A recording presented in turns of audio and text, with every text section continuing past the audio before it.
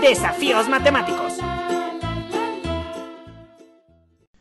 Buen día, este es el resumen de las actividades Aprende en Casa del 30 de junio para quinto y sexto grado de la materia Cívica y Ética en Diálogo.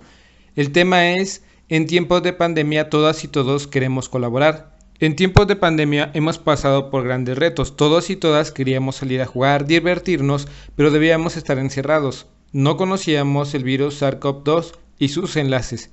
Con ayuda del siguiente video podemos ver que el coronavirus es un virus tan pequeño que no lo podemos ver y que es muy agresivo que fue un virus a nivel mundial que provocó síntomas muy similares a la gripe, sin embargo que no podía hacerte graves problemas en muy poco tiempo.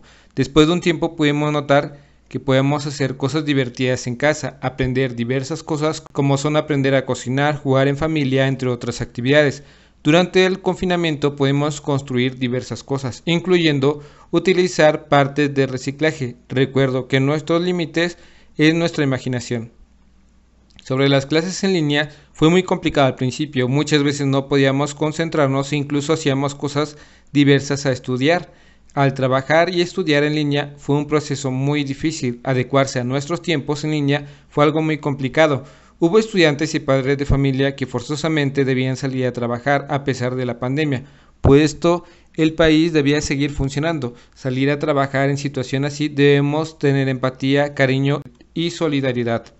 ¿Qué fue lo mejor que te ha pasado durante el confinamiento? ¿Qué fue lo peor que te pasó? ¿Qué aprendiste en tiempos de pandemia? ¿Qué fue lo que más disfrutaste? Comparte estas preguntas, respóndelas en casa, piensa qué has aprendido. Puede ser que muchos aprendimos a cocinar, bailar, jugar con la familia, aprender a andar en bici, incluso a realizar diversos objetos. Recuerdo cuando en las noticias decían que serían vacunados adultos mayores, menos a niños.